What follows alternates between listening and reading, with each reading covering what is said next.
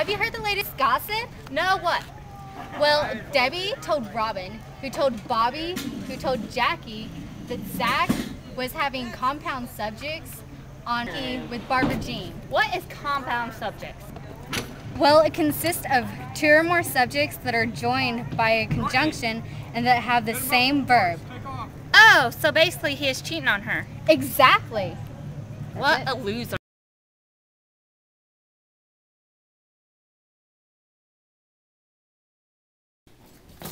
Go, Derek, go! What is this? Eating chocolate pudding and playing hopscotch was our thing. We were just taking a break from our studies. What studies are those? How to Google each other's eyes before the next bite? I'm sorry, Snookums. We weren't doing anything.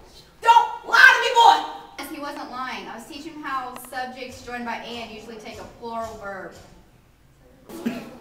Oh, and I guess you were also teaching him how singular subjects, like himself, are joined by or or nor, take a singular verb, like you're doing right now.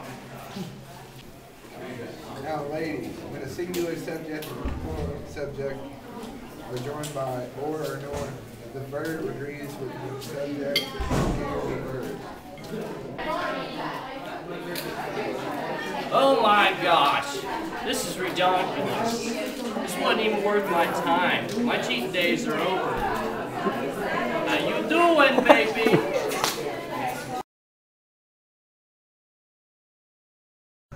Action. Have you heard the latest gossip? What? No. Oh, Derek! oh, We look at- Do I need to be on the other side? Okay, stop! Oh, wait, wait, wait. All right now. Go. I'm sorry, Snookums. We weren't doing anything. Go. Don't lie to me, boy! no! I promise he wasn't lying. Does that mean? Or is it him? Okay, do it again.